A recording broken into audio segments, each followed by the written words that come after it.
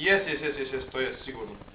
Okay, that is uh, A samo ti resto Nicola speaking Serbian on the phone. And this is Vaso over here. Today is his birthday. So happy birthday, Vaso. How do you say again? Happy birthday? Srećen rođendan. Srećen rođendan. Something like that. And here I am. Mora da je prije ono što je čovjek... Jer So this is just a little short video clip to say happy birthday to Vaso. Da pita kao na koji... Vaso ovaj, brought orange gdje je juice. And he brought, jer mislio uh, da- da ti imaš kožicu, pa- Seven days croissants. Tako da prošli čovjek, ali- ali vjerojatno je to And he brought chips. So he had to supply the food for his own birthday. That's pretty Right, sad. So well, maybe we'll take him out later. Važi, pozdrav ćao. You want to say hello, Nicola? Say happy birthday. Can you say happy birthday birthday to Vaso in Serbian? Oh, it's recording. Srećan rođendan Vaso. Okay.